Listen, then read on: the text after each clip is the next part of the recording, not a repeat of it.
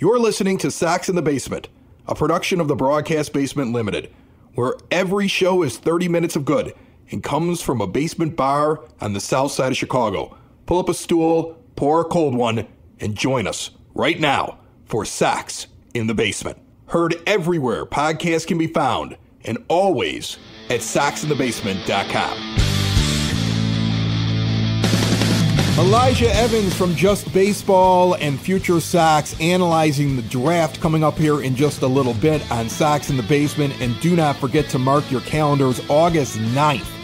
Myself, Chirizi E and My Sox Summer from the 108 combining into a three person panel live before all of you right before the White Sox take on the Cubs. A big party at Cork and Kerry at the park. 33rd and Princeton in the shadow of the ballpark. It kicks off at 5 p.m. Do not miss it. This will not be aired. There may be some clips that you'll hear uh, if we gather anything from there. But if you want to check out this experience, we're bringing in guests. It, it, it, we're going to have giveaways. Should be a blast.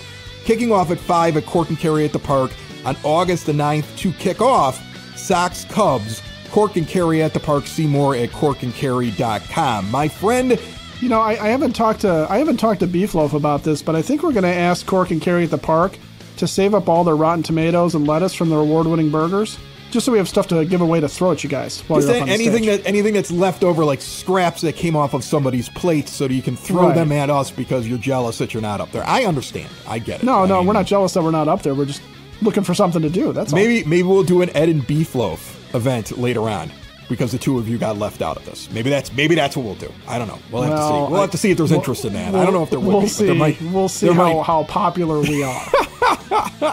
all right. The White Sox go through the draft. Elijah Evans is going to break it all down for us here in a little bit. I want to talk about the first round draft choice, though, Hagen Smith, because I think that selection, in the face of what we talked about with James Fox, their tendency to look towards high school players, which they did later on in the draft, uh, and the fact that they needed hitting. You know, the, the perception is the White Sox needed hitting and they needed to have more versatility and they needed to find position players because they are a premium and they are hard to find. Most systems are pitching heavy. A lot of pitching talent out there, hard to find, ready to get to the majors, close to the majors, or just high end prospects that are their position players, that are hitters. And you would think that's what they were going to do. And instead, they go with a big left handed pitcher out of college that's so good that he could start next year on this team. Like, this could be one of those quick arrival things that we've seen before. Chris Sale got here early as a reliever, and you saw Garrett Crochet get here, and you could see the same path for this kid, or even he ends up in the starting rotation in the back half of next year. Like this, this is a guy who's polished enough Brian Bannister may be sitting there saying, Here we go, another pitcher to add into the big mess of pitchers that we have. And I think that selection tells you so much about what this team's overall philosophy is at this moment with Chris Getz. I think Chris Getz realizes his owner is cheap and is going to do something that I have yelled for years that Rick Hahn and Kenny Williams wouldn't do. And that is accept that Jerry Reinsdorf is never going to pay to keep pitching around. So you have to attack it as a general manager by going after controllable, good pitching, be so saturated with it that you don't have to worry about him ever having to pay for it. And then you can use the money for position players. And that's what my that was my first reaction when I saw that is we just keep getting richer on the pitching side. We have Brian Bannister, we have all this pitching. This is what we're going to be. They're going to have to spend on hitting though with this philosophy. Yeah, no, I, I, saw a lot of people who sat there and said, well, Garrett Crochet is, is definitely on his way out because Hagen Smith is Garrett Crochet. And honestly, when I saw a video of Hagen Smith, the first thing I thought of was like really good Carlos Rodon, not not Carlos Rodon where body parts are hanging off of him metaphorically, but like the one that threw the no hitter, that guy. I, I, had the same thought. He could be here really, really quickly. And, you know, he's a guy, I mean, led the NCAA with, uh, in terms of K per nine innings. Uh, struck out 17 against Oregon, which is you know, top team in the in the NCAA. Hagen Smith is the is the goods. At least he looks it. You know, you, you can never tell. But I, I think part of this is too. You know, you mentioned that hitting prospects have been harder to come by because they come up and they tend to struggle. We've seen a lot of that. We get a lot of ballyhooed hyped prospects and they come up and eh, it's not so great. I mean, you look at Baltimore and Colton Cowser is not great. You know, uh, going into this year, the Rangers were all excited because they had Wyatt Langford and then they they had um, you know Evan Carter and they you know it's like we got a couple of young stud outfielders and neither of them have really panned out, and and it's just it's all over the majors that way where where young hitters are struggling, and some of that there's a thought that they're not getting proper exposure in the minors. They're seeing a lot of guys who are hard throwers and and these pitching prospects that are all arm and stuff and they're not seeing guys that know how to pitch them and they're not seeing stuff like that so AAA, for example, is worthless because it's it's it's like taking batting practice, and, and we've seen some of those numbers get inflated. So there's some truth to that. But the other thing is is that you could field a team of Tommy Phams, right? You could you could field a team of of guys who are professional veteran hitters who aren't flashy, who aren't superstars, and have a really good chance offensively every game to string together hits and steal bases and, and take the extra base and and and get on without necessarily blowing guys out of the water. But if you have a good pitching staff and if you have a deep pitching staff, you can sustain that. The other thing to remember too is, is that pitching prospects are great, but uh, a lot of them end up getting hurt in some way, shape, or form. There's a lot of guys that get Tommy John in the minors that come out of college or come out of high school and you know they've been overused a little bit or there's something that they're trying to do something new they're encouraged to get more spin on the ball they're encouraged to get a little bit more velocity. They change their mechanics a little bit to try and do stuff, and it ends up impacting their arms. So you've got guys that that you know might need some time there to adjust or might need some time to marinate. So stacking pitching, as a lot of organizations, like you pointed out, a lot of them are stacking pitching. Not a lot of them are stacking hitting. One, you can use the pitching to get the hitting, but two, I also feel like there's a lot more that you can do trying to fill up the positions on the field than there is when you're on a limited budget and when you have a guy that won't pay to extend guys and keep them around than there is to keep a pitching staff together for year in and year out. You're going to have to funnel through a lot of pitchers year in and year out when you're only limited to like Eric Fedde style contracts the thing is to get the good quality pitchers, you have to give those multi-year things. It's not as much money as he just won't give the multi-year thing. You can get hitters on three-year contracts more easily than you can get pitchers on three-year contracts that are of quality. Like you, you know, if you look at these things, pitchers get. I I feel like just as somebody who's been watching it for the last couple of years, you take a much greater risk and add many more years than you'd like to, and you are paying more uh, AAV, like average annual value for for pitchers a lot when you're going and getting like that high quality guy where you might be able to find a really good hitter and not have to go that length. I mean, they weren't the best offer for Manny Machado, but they at least were up there around like 250 million dollars. I mean, they mishandled it, but it, I've never seen him even consider spending that much for a pitcher. So he's never going to get the front line guys that come walking out with Scott Boras as their agent. Like that's not what he's going to be able to do. And and so this is why it would make far more sense if you're a general manager and this is your owner to say, okay, we have to stop even thinking we're ever going to be out there able to get the best pitchers, that number one or number two that comes in there and leads your staff. It's just not something we can do with this ownership, but we can try to develop that. We can saturate so much that if we have 20 or 30 possible guys that could be that, if a couple of them work out, we've found it. Plus, you get capital. I mean, they can overpay in the offseason. They can go to a team and say, look, we're going to give you two two good pitching prospects for this guy here. You know, they can they can wow somebody who who has a hitter that they've identified is going to be a member of their team. And it doesn't even necessarily have to be a prospect. They can go out and try to find players when teams are retooling and figure out what they're going to do in the offseason. So it's free agency and also the capital with all the pitching that they have.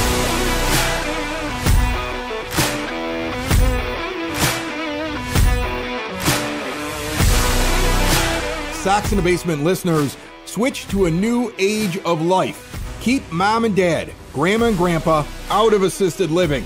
Maybe you're getting older. You're trying to figure out how to get around the house. You're afraid that you might hurt yourself. You're living alone. It's all about getting around on your own, living independently. Stair lifts, ramps, grab bars, lift chairs, even bathroom remodeling, all at Hyatt Home Medical Equipment. They work with your insurance and have 0% financing for qualified individuals. And Hyatt also has the latest and greatest in CPAP machines. If you're unhappy with your vendor, switch now. Get supplies directly mailed to you. And if you're down on the south side, stop by the showroom. They have testing rooms and they'll show you all your options you probably don't even know about. They also have the latest in continuous glucose monitors and any medical equipment you can probably think of. See everything Hyatt Home Medical Equipment has to offer at hhme.com. Joining me on the phone line right now, Elijah Evans returns to the show from Just Baseball and Future Sox. He's a prospect head. Uh, a lot of times I just feel like guys like Elijah here just just love the guys down in the minor leagues and can't wait to see all these White Sox players traded so they can see what they get back in return. But uh, t- this week, it's great to talk with you, Elijah, because we had the draft, and uh, you're the kind of guy I want to talk to to find out whether or not it went well. How are you? I'm doing well, Chris. Thanks for having me on, man. I mean, I'm definitely, uh, definitely a prospect head, and definitely excited for some of these prospects on the way. Um, I was super dialed in the last three days on the draft. I've been kind of tweeting and writing about every single pick the White Sox have made, um, in addition to some other stuff. So it, has been fun. I, I, enjoy it. It's a great time of year. I think this is going to be a. It's already an exciting start to it, and then we've got a pretty big two weeks coming up here for the White Sox. What did you think about the first overall pick? Because it surprised me they went pitcher, but as we've been talking about here on this episode, it almost signals they're going to go pitcher uh, deep in their system because it's so hard to find and develop bats. So they'd rather be really good at pitching. Yeah, that's exactly right. I think. Uh, I think that's on the the right wavelength there. I mean, ultimately, I was surprised for sure. I, I got a little bit of a tip that it was coming prior to the draft, um, so I, I had an idea and I was bracing myself a little bit that it was a big possibility. Um, but you know, it's it's complicated, but at the same time, I think what they did was just look at the board and think about the fact that they think Hagen Smith is the best player on the board there. And ultimately, if he is the best player on the board there, you do that and you take that. And that's what's funky about the MLB draft. It's not like basketball, it's not like football. You're taking for talent here. Um, and that's the reality. And you're maximizing within your 20 rounds, you're maximizing the total talent you can get within your allocated slot money. So it's really a complicated situation um, when you really look at the whole draft. But with Hagen, right, like, they they drafted Garrett Crochet's replacement, and I know that's not what a lot of people want to hear, but they drafted a guy who will be up next year, if not immediately 2026, but probably sometime in 2025. This is one of the most advanced college pitchers in the past five, ten years, and the guy was just unbelievably dominant all season. Left-handed guy. He's going to get even better when he works with Bannister and the rest of the pitching development staff. He's going to be a stud. Um, and if they believe that this is the guy that they're sure is going to be a star major league player, I'm okay with that. And then you go high school with the next two picks, and then you prioritize bats and trades, right? And like getting a guy like Hagen Smith, in addition to the system that's already set up with pitching, like you have a really, really good pitching system. Like it's it's elite. It might be the best in baseball at this point, frankly. And now you're going to have to find a way to trade for some bats, and that's just the reality of it. But I'm not gonna I'm not gonna be upset about that yet because I do think there's a really good chance they can get some superstar hitting prospects via the trade deadline. Uh, you and I were talking right before you jumped on. Lots of pitching and some high ceiling outfielders. And that was kind of like your take of what they went for, or at least what they went and got. Uh, overall, how did you feel? Because it sounds like day one, okay, looks good. Day two, what are they doing? Day three, late in the draft, uh, they did pretty well. Uh, break it down for me. Yeah, very fascinating draft. Um, you know, it was it was a weird kind of setup. So so Hagen Smith first, right? Then you go to two high school guys. You get a high school shortstop and a high school pitcher. Both these guys with a ton of upside. Both are probably going to end up. It, sounds to me from from all indications from Shirley and from the media that that those guys, Bonemer and Larson, the second and third picks, are going to end up being overslot guys because they're high school, because they're so talented. They could go to college and get a ton of NIL money. So for those guys to sign at, at the 43rd and 68th picks, it sounds like you're going to be paying those guys a pretty good amount.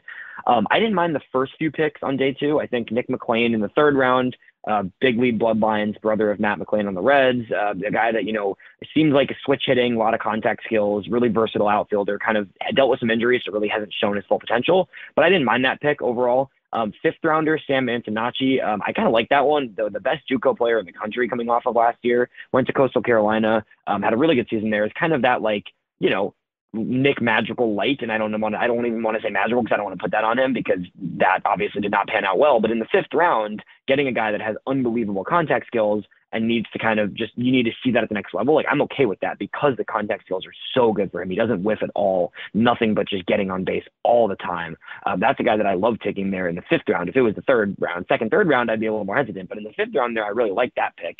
Um, basically, six through 10 were all money saving picks. You go with a senior 50 or catcher in the sixth, three straight relief pitchers, seven, eight, nine, and then an outfielder from a small school who was talented, but you know, basically six through ten, the entire second half of day two yesterday was picks that should come in under slot, at or under slot. I think pretty much all five of those guys should have a chance to go under slot. Um, I really like Phil Fox though, uh, relief pitcher out of Pittsburgh, ridiculously good fastball metrics. That's a guy that probably can shoot through the system um, as a reliever, as a primary reliever. Um, Aaron Combs closed down the College World Series this year for Tennessee, another relief pitcher, but both those two should move pretty quickly through the system. Uh, but in general, that six through 10 was really just a lot of money saving, which at first I was like, what is the, the purpose of this? Because in my mind, Hagen Smith should have been at or even under those high school guys should have been right around slot value, but it sounds to me like all three of those first picks are going to end up being rather expensive. So you had to save some money in six through 10, and they wanted to save some money for the later rounds, which came today. And then today, I, I really liked a lot of these picks today, which is, it's funny how that goes. And that's kind of White Sox esque in the past few years. I mean, when you look at the draft right now from the past few seasons, right, you've got guys like Mason Adams, guys like Brooks Baldwin, a lot of these guys that are now emerging as, you know, some of the better prospects in the system that were taken on day three in the past two years. So it's really fascinating the draft strategy from the White Sox, and it seems like it's almost becoming a trend where they really eh, they work hard to allocate some money towards the early day three picks, and they did that today. Um, you get a few different pitchers that are that are really interesting. Probably relievers, Blake Shepardson and Pierce George, both in the 11th and the 13th. Um, those two guys just stuff, stuff, stuff. I mean, really nasty stuff from both those guys. Work to do, command work to do. Probably both of them are going to remain in the bullpen, but just disgusting stuff from both those guys. You get a few outfielders that with some serious experience and some pop. Uh, Nathan Archer, a small school Bowling Green guy. TJ McCants, who was an Ole Miss guy for a few years with Jacob Gonzalez. Uh, finished at Alabama this past year, just a ton of experience. Um, you get another hitter in the 17th in Lyle Miller Green, who I had never heard of, but has some absurd power numbers, Chris. This guy hit uh, multiple over 115 exit velocities this past year. Um, a small school guy, not a ton of pedigree, already 23 years old, but like total Tim you know, draft kit, right? Where like he hits the living crap out of the ball. He could easily just, you know, shoot through the lower levels of the minors. And we'll see if the, you know, he continues to improve, right? There's still more to do there, but a ton of power there. Um, and then they get some more starting pitching too. They they bulk up on some pitchers that are moldable and interesting. Um, in the 14th, 15th, 18th, and 19th, they go a bunch of starting pitchers, just experienced for like you know college starting pitchers. Uh, Justin Sin- Sinibaldi from Rutgers, Mason Moore from Kentucky, uh, Liam Paddock from Gonzaga, Nick Pinto from UC Irvine. Um, all four of those guys just you know experienced college guys. I really like Mason Moore particularly uh, from Kentucky. He had an incredible 2023 season. Struggled this year, but getting him in the 15th round, a guy that you know could have been a top five to seven round guy the year before. Um, I really like taking that kind of buy low on him. And then, you know, the rest of those arms too are interesting as well. And then you go down at the the 20th pick, which I, am hearing, I'm trying to answer some, I was just a few minutes ago before we got on, I was answering some questions on Twitter about this because the 20th pick, the White Sox go with the 145th ranked player in the entire draft class, right? So this is a guy that was, in terms of talent ranked as a fourth round draft pick. And they get him at 20, so they're going to have to they're going to have to overpay to get him to come there instead of going to college. Yeah, so it's more complicated than that. It, unfortunately, this is a guy that I would give it about a five percent chance he actually signs with the White Sox. Um, it, it's just the situation here basically is that you essentially the White Sox organization, and Shirley just said this in a, in a press conference a few minutes ago, but essentially the organization is admitting that they it's not admitting right. There's nothing to admit right, but there it's a contingency plan. So getting a high school guy of that caliber in the 20th round, if you don't sign him, whatever, it's a 20th round pick. You burn a pick. It, it really is what it is at that point, and it's minimal money you're burning but what happens is if you have a hard time signing any of the other guys in the earlier part of the draft, then you have a super, super high upside guy that you could allocate money towards if you have that leftover money from other guys not signing. So the reality is Miles Bailey's committed to Florida State. He's one of the better high school players in the country. Uh, he, he's probably going to go to college. But hypothetically, and this is not an ideal situation, but if something were to happen with any of some of these early, more expensive players that don't end up signing or they can't reach a deal with the White Sox, then you have a bunch of leftover money that you can throw at Miles Bailey and say, hey, we know you're a 20th round pick, but we're going to pay you like you're a third round pick to come to this team to join us. We're going to give you the rest of our bonus money because we want you to come. We want you to play for us and we want you to develop in our system and not go to college, right? So that pick uh, is very flashy and it seemed awesome. Like, oh, 20th round, they finally took the high school kid. Because I, I was hoping, you know, in that six or 10 range when they were taking all these underslot, you know, senior signing college guys, I was like, oh, that would be the time to, to pounce on a third high school guy the reality is they didn't think they had enough money. So Miles Bailey is kind of this contingency plan where if you don't sign one or two of the other guys, then you can throw some money at him. All right, so there's a lot to take in there, but me listening to you, the way the way I get it is uh, the first few guys are so valuable, they're going to have to spend a little bit more probably than slot for them. They had to then save a bunch of money on day two, but they'd rather go get the guys that they want and then they also saved a little bit of money so they could have some fun in the back end. And Miles Bailey is there in case anything goes wrong. You can sign him. Or if for some reason Miles Bailey doesn't care about money and just wants to play for a class organization like the White Sox. That's a good one, Chris. Yeah, I know. Exactly. All right. So you look at this class you listen to Mike Shirley. You see Chris Getz's first draft. You you understand the idea that Brian Bannister is turning this into a very pitching heavy uh, organization, and that's a good thing. And and it looks like the direction is essentially we need to be really good with having arms because we may have to use them to trade for for bats at some point, and we may have to start spending the money in free agency on bats because we're going to be set with all of these arms. If I told you take a look at this entire list here and you're not allowed to be excited about the first three guys because they're the first three guys and they should be good.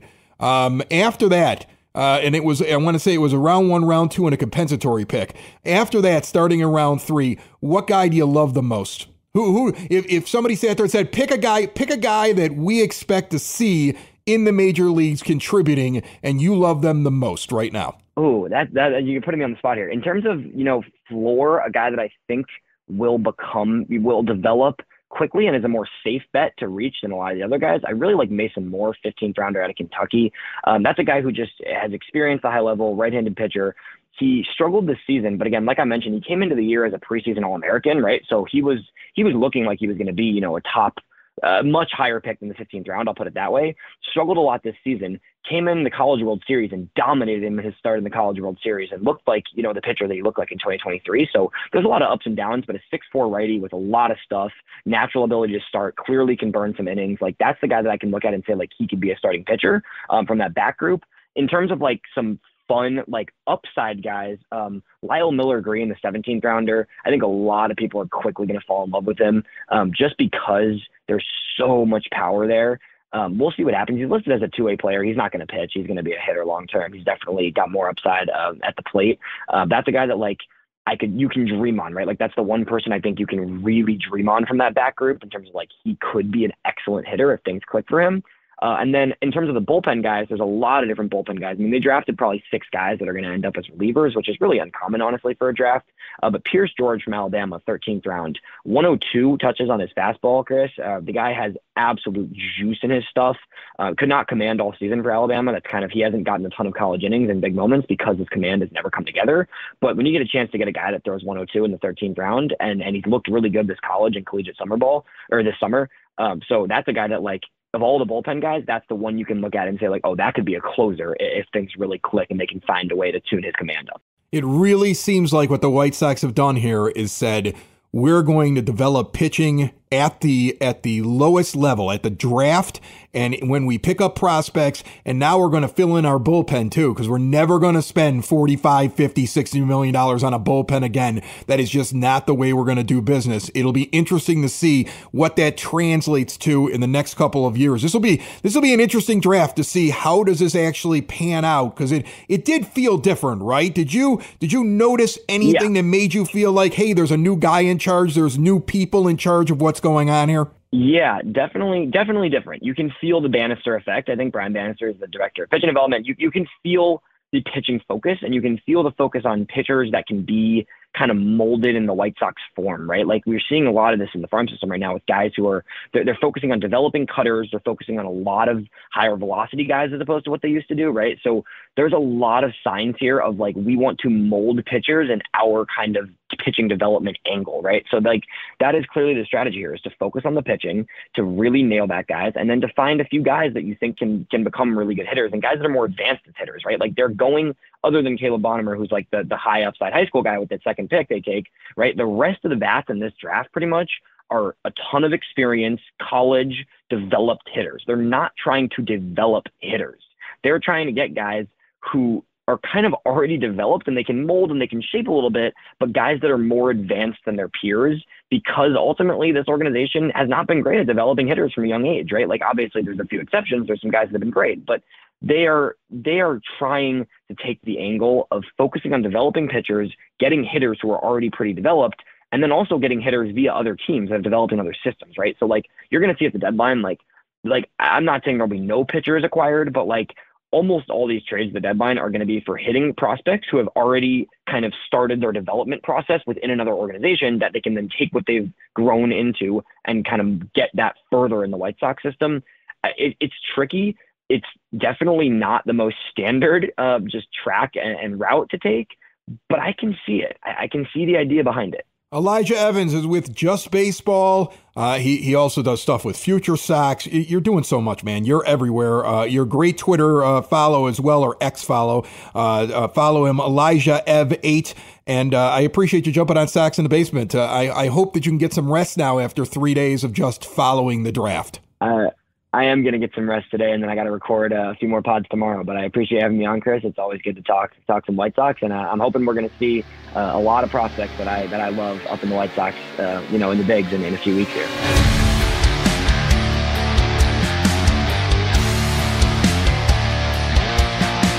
I, I want to bring up something that I think a lot of people missed when Mike Shirley, director of amateur scouting, was talking about Hagen because uh, Hagen Smith, like, you know, there's a lot of big things to say about him, a lot of stats. And he said this line. I don't think anybody really got what he was saying here. I have a I have a theory about what he was saying. Despite all of his success, this is Shirley talking about his new uh, number one uh, or first round draft choice. I was struck most throughout the scouting process by his humility. We believe Hagen to be a foundational piece to what we are building in our organization in the years to come. Now, I don't think anybody got it the way I got it. When I read that line, I thought about a couple years back in that postseason game, you know, the the really exciting one where Leury Garcia ran into one and, you know, it earned him a bunch of money. But like the the the way that the Astros in that series, like we kept sending out pitchers that all did one thing. And we have a new guy in charge of pitching development that wants more pitchers than throwers. And I believe that as it would be in any job, I guarantee you there are pitchers within the White Sox organization over the last couple years and including this season that probably don't like being told they have to change what they do. Probably feel really good about what they are. Probably just think they've had some bad luck. Don't have the humility to follow the program. I think that's what that line means.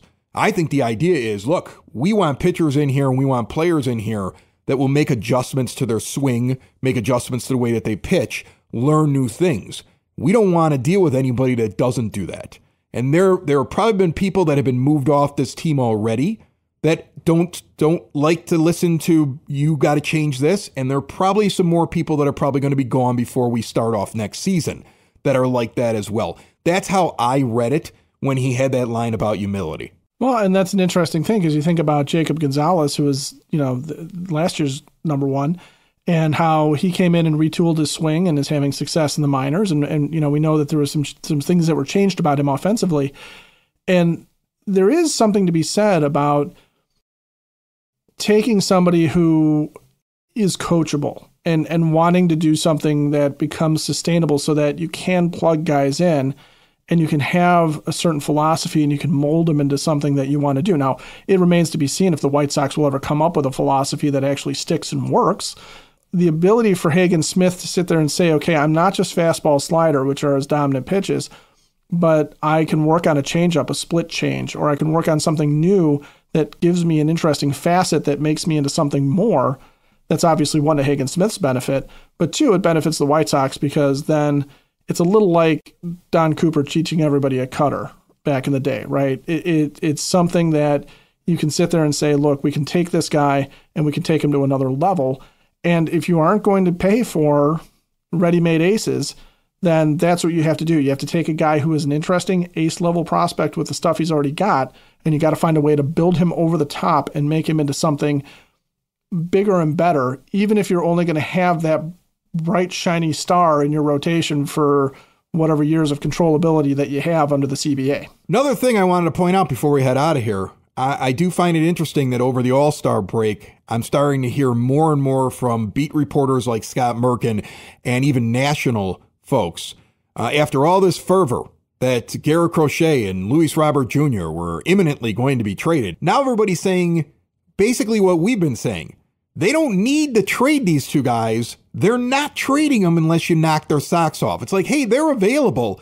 Uh, you really have to overspend because we're not in a hurry and we don't have to. And their value may even increase before the beginning of next season or even before next year's trade deadline. And we don't know where we're going to be. So if you want them, you got to spend. And you continue to hear reports of, of a team knocking on the door and being immediately shut down. So I feel like this is very similar to the Cease thing. Everybody thought, well, he's got to be traded, but they didn't have to. And Chris Getz has even more wiggle room. I mean, he's got two more years after this season with Crochet and three more with Robert. He can sit back and wait, and I'm starting to hear that now more and more instead of the, oh, these guys are getting traded. I think people are starting to understand that is not a foregone conclusion, and the White Sox don't really have to do it. And, and it could change very much so with the makeup of this team and what they are before next year's trade deadline or All Star break or when somebody starts knocking on the door again. Sox in the basement. Sox in the basement. Sox in the basement. Sox in the Basement. Heard everywhere podcasts can be found and always on soxinthebasement.com.